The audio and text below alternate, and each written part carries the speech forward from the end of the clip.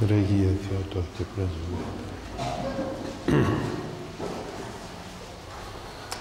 Ουδείς προστρέχον επισή, κατησχημένος από σου εκπορεύεται, αγνή παρθένε Θεοτόκε.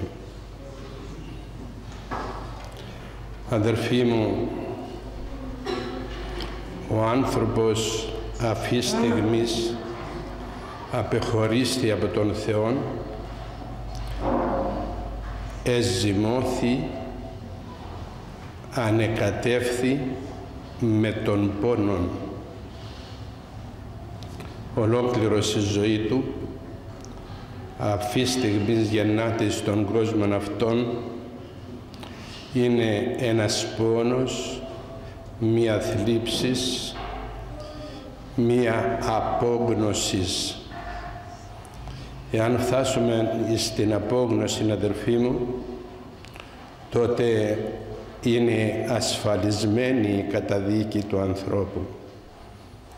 Εκ της απογνώσεως δεν δύναται να λυτρωθεί εκ της σχολάσεως. Η απόγνωση του φέρει την αυτοκτονία και τούτο το βλέπουμε καθημερινώς στη ζωή μας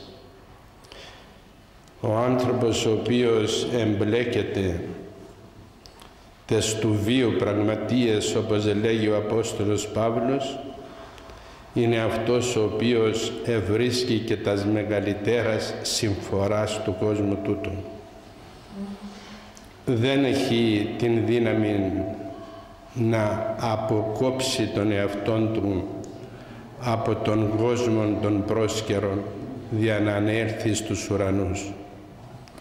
Αλλά μη τι να έβρει ως παρηγορία καταλήγει έπειτα εις το τελευταίο σκαλοπάτι το οποίο ακριβώς ο διάβολος έχει ως παγίδα στη ζωή του ανθρώπου. Η απόγνωση λοιπόν ασφαλισμένο εισιτήριο της κολάσεως.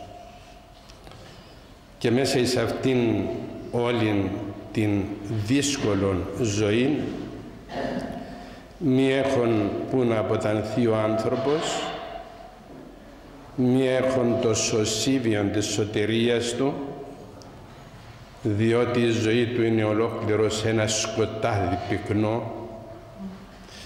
Είναι μία οδός η οποία δεν έχει φως και εκεί μέσα στο σκοτάδι αυτό υπάρχει η άγνοια την οποία ο άνθρωπος εκλέγει στη ζωή του και δεν θέλει να γνωρίσει τον Θεό μέσα σε αυτό το σκοτάδι το παιχτό που περπατεί τότε ο διάβολος του στείνει την παγίδα της απογνώσεως της απελπισίας. Δεν μας εγκατέλειψε όμως ο Θεός. Δεν μας αφήκε μόνος μας. Υπεσχέθη ότι δεν θα μας αφήσει ποτέ ορφανούς.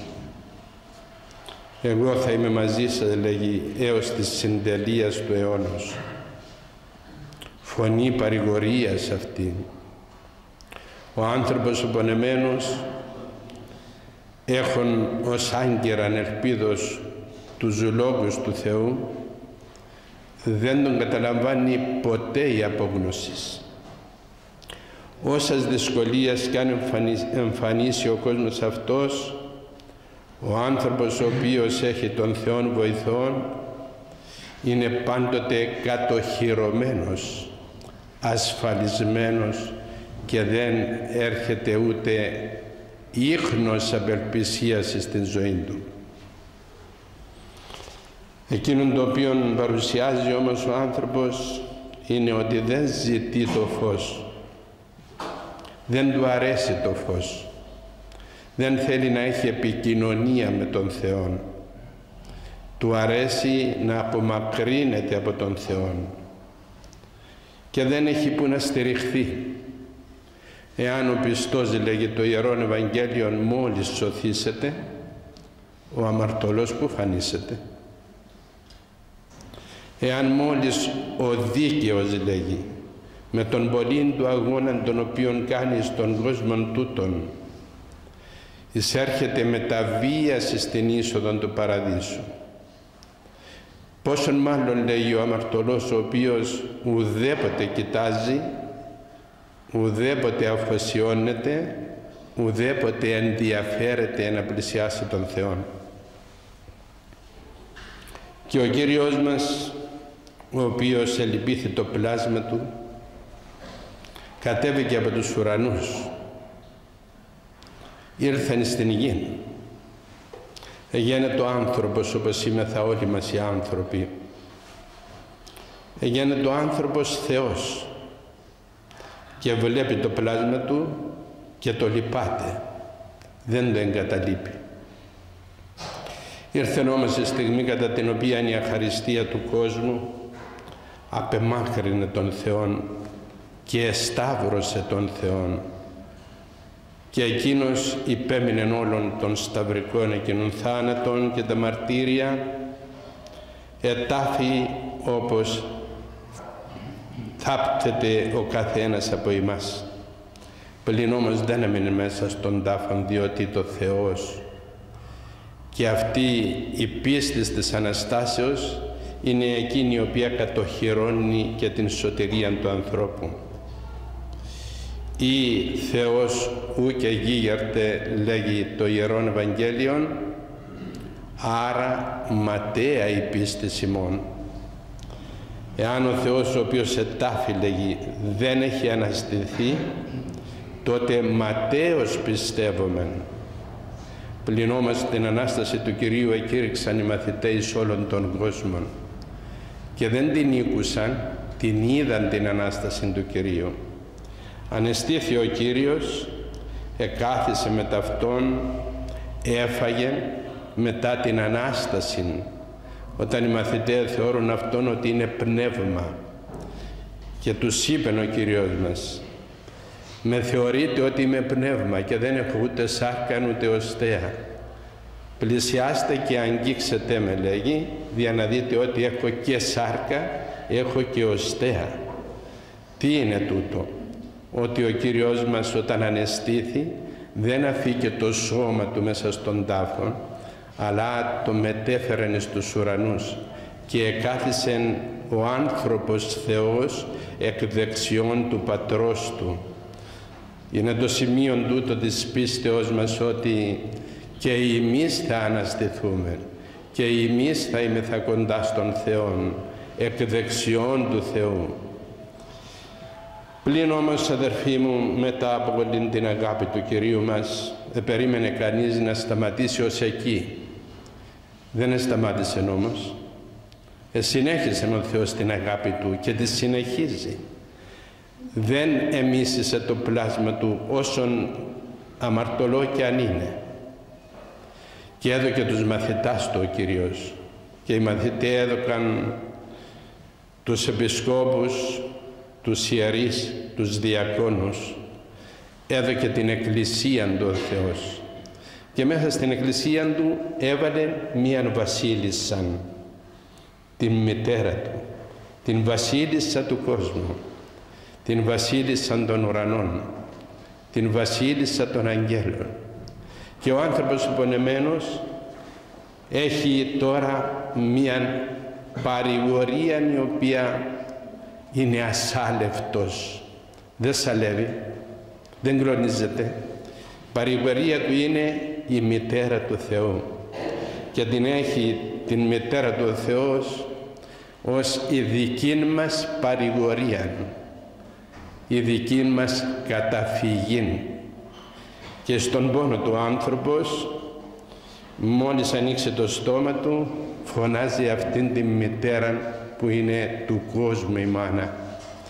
Είναι η μητέρα του Θεού η φυσική και είναι η μητέρα ημών των χριστιανών η καταχάρη. Έχουμε μητέρα τη μητέρα του Θεού.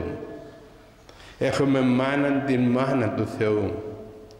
Και ουδείς προστρέχον επισή λέγει ο Ιερός Υμνοδός ουδείς προστρέχον επισή κατησχημένος από σου εκπορεύεται αγνή παρθένε Θεοτόκε.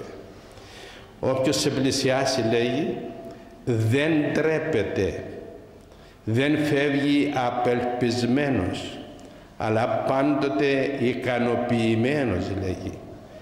Δεν έχει ποτέ να φύγει από την Παναγία μας χωρίς να πάρει κέρδος. Ουδής λέγει προστρέχον επισή, ντροπιασμένος απέρχεται, αλλά γεμάτος χαράν, παρηγορίαν, ελπίδαν, ιατρίαν.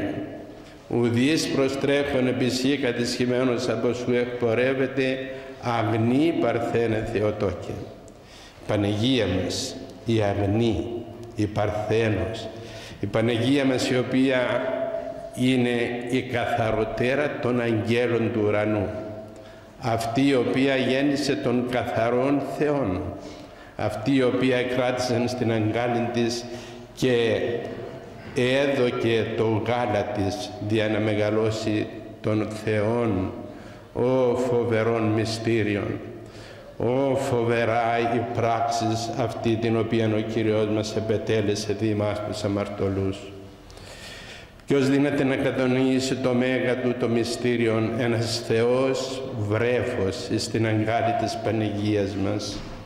Ποιος δίνεται να συλλάβει αυτήν την άκραν ταπείνωση του Θεού που κατέβηκε από τους ουρανούς και γίνεται ο άνθρωπος όπως εμείς οι άνθρωποι και τον εκράτησε η Παναγία μας στην αγκάλη της τον ανέθρεψε και τον μεγάλωσε τον Θεόν αυτό το βρέφος το Άγιο το θεϊκό βρέφος μεγαλώνει μέσα στην αγκάλη της Παναγίας μας και την έχει τώρα ο Θεός ως σκέπιν του κόσμου.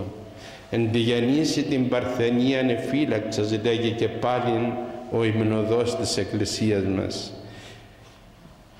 Ενδικημίσει τον κόσμον ου κατέλειπες Θεοτόκε και όταν έκλεισες τα μάτια σου δεν απεχωρίστης τον κόσμο σου τον κόσμο των πονεμένων τον κόσμο των πιστών τον κόσμο ο οποίος τιμά τον Θεό και την μητέρα του Θεού. Όχι εκείνος ο οποίος απορρίπτει την μητέρα του Θεού. Όχι εκείνος ο οποίος βλασφημεί την μητέρα του Θεού και των Θεών των Άγιων είναι η προστάτης εκείνων οι οποίοι την επικαλούνται με πίστη δεν γνωρίζεται η πίστη στον όταν πλησιάσουν τη μητέρα του Θεού. Ξέρουν ότι ένα δάκρυ της Παναγίας μας θα μεταβάλει την ζωή των εις χαράν.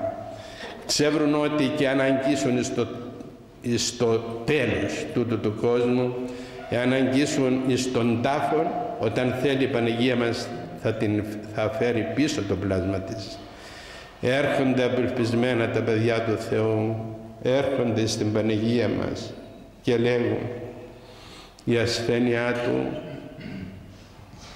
οδηγεί ολοταχώς στον θάνατο και εκείνη τη στιγμή ο λειτουργός του Θεού εάν υπενθυμίσεις το πονεμένο πλάσμα ότι υπάρχει η Παναγία μας τότε λαμβάνει δύναμη ουδείς προστρέχον επισύ κατησχημένος από σου εκπορεύεται αυνή παρθένε Θεοτόκη αλλά αιτείται την χάρη και λαμβάνει το δόρημα προς το συμφέρον της αιτήσεως Αιτείται από την Παναγία μας την υγεία Του. Ζητεί από την Παναγία μας, Παναγία μου, θεράπευσέ με. Ζητεί τη χάρη, αιτείται τη χάρη. Και δεν φεύγει απελπισμένος, διότι λαμβάνει το δόρημα, λέγει, παίρνει το δώρο από την Παναγία μας, δηλαδή τη σκέπη της, την μητρική. Σκέπει τα παιδιά της η Παναγία μας, και κλαίει η Παναγία μας όταν κλαίμε κι εμείς. Θρηνεί και λυπάται η Παναγία μας όταν και εμείς κλαίουμε και θρηνούμε δια της αμαρτίας μας. Τότε ευρίσκουμε τη χάρη. τότε λαμβάνουμε το δόρημα.